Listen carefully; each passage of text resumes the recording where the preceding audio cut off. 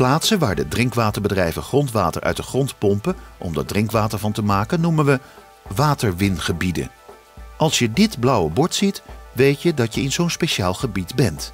Veel waterwingebieden liggen in een natuurgebied.